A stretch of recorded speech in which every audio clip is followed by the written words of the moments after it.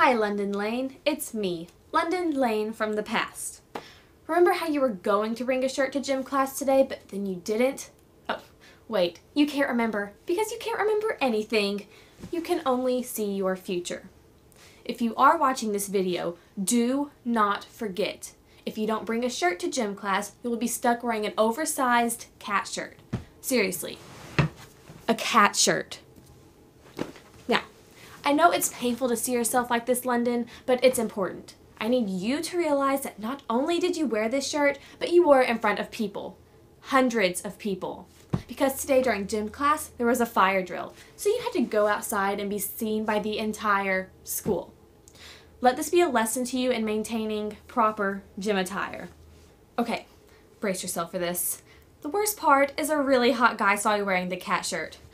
Please don't go open a window and throw yourself out of it. Actually, the cute guy didn't seem too put off by the cat shirt.